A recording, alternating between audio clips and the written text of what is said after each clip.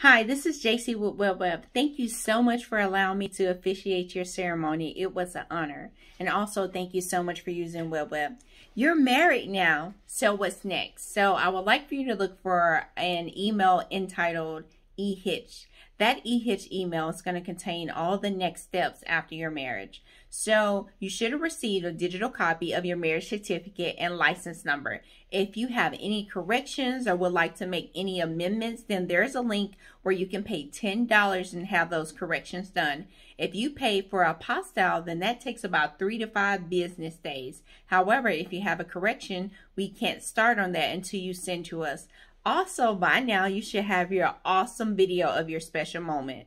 Now, we want you to share that special moment with all your family and friends in a private and secure manner. However, please um, know WebWed's policy and procedures. We do own the rights to the videos and all pictures taken, so you cannot use those videos or post them without permission um, from WebWed. Also, if you would like to refer anyone, then we have a great referral program. We love, love, love reviews. So please send us reviews. If you have any constructive criticism, please send that to us as well. Again, thank you so much for choosing WebWed. We believe that marriage is a constitutional right. Thank you and have a great day.